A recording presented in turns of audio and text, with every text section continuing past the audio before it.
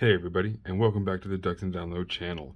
On this figure review, we're going to be going over three of my absolute favorite figures ever, which just so happen to all be from the same timeline and the expanded universe line.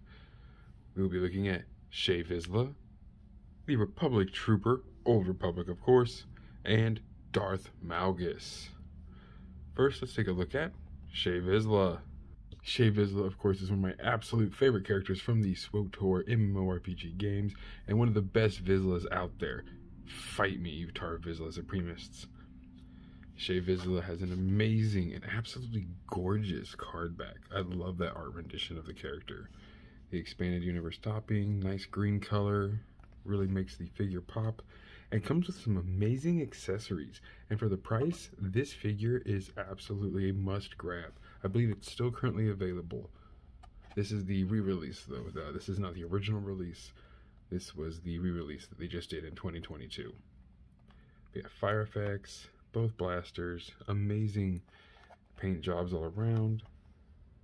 VC 101. You see this is a very exclusive I gotta put this one the gaming grades titling. Kenner logo down here. Yeah, absolutely amazing figure. Really good face sculpt. The hair is really nice, and the helmet, everything's spot on with the game.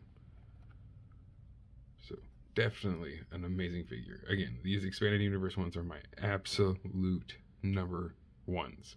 I guess one through three, if you would call it. I definitely put Shae Vizla at number two out of my favorites. Next, we have the Old Republic Trooper. Also, again, of course, Expanded Universe, Star Wars line. Of logo down at the bottom. Now, again, just like with Shae Vizla, this could almost be a deluxe and is very well priced for all the things you get for it.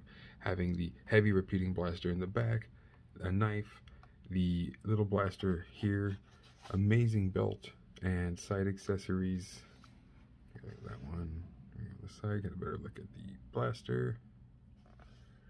The helmet sculpt is absolutely brilliant. It matches, of course, spot on with the SWTOR characters. Um, I especially love this card back. You can see the fire in the background, the bit of trees here. Almost reminds me of one of the main cinematics that we got for the early days and launch of the SWTOR game. Um, some might also call this the Havoc Squad Trooper, but it is, of course, just heavy Republic Trooper armor, and it looks awesome. Uh, there's a variant with a comma in the game, which maybe one day, you know, but right now, anything Old Republic, I'll take. And of course, guys, since I do collect inbox with these and I don't have enough money to sadly buy two of everything at the moment, uh, these will stay in card. Uh, I have heard the articulation, of course, on these ones are really good as they are newer articulation points. Just simple remakes. Back up, this one has a lot more. VC113 this is the Bo-Katan Ahsoka Tano line. I almost forgot that this dropped just at that same time as well. So this is also from a 2022 restock wave. Another absolutely amazing figure and one I would also highly recommend for any trooper lover out there. The Old Republic troopers might not be like clones, but they're just as badass. And now on to the number one, my absolute favorite vintage collection figure I own to this very day. Darth Malgus. Again, same exact expanded universe card top here with a brilliant picture here of Malgus that looks like the Jedi Temple behind him. This would have been when Malgus actually conquered the Jedi Temple of Coruscant during the Old Republic War days. Has the old, you could win a life-size Darth Maul statue and the character debut sticker. This is, of course, an original release. Uh, this one cost me about $70. I've actually recently looked it up on the market. It's almost going for 90 now, and it's definitely worth that.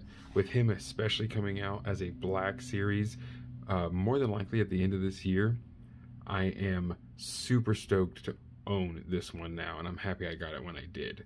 So I'll definitely have to display him next to his Black Series counterpart, which will be a deluxe. Can't wait for that. You can see the old card there underneath. it doesn't have the same uh, warranty card anymore. Of course, that changed. Amazing armor though. We have the lightsaber with no blade on and lightsaber with blade on. The old fashioned where they would carry it across them instead of like as an accessory straight up and down on the side. Let's get a nice zoom in look here on the face sculpt. really amazing face sculpt with him. The red eyes, the wrinkles, the mask. The armor looks great and extremely original print and manufacturing a mold for this character, and I was so happy for that. Can't wait to get him in a 6 inch version, but for now, I will be ever so happy with this absolutely brilliant 3.75. Here's the old VC96 uh, backing. Luke, Anakin, Imperial Navy, Vader.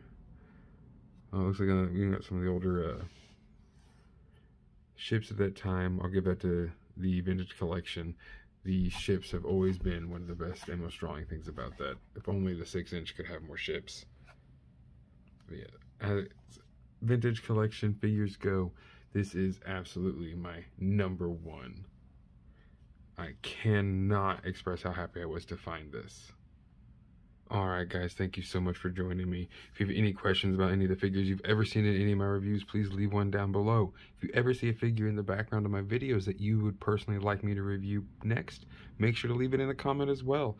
Don't forget to like, subscribe, and share the video so we can grow the community. And of course, I'm going to keep making a lot of these fun videos as I got enough of these backstock figures to be going through and really reviewing. Have an amazing rest of your day, and as always, remember the force will serve you well.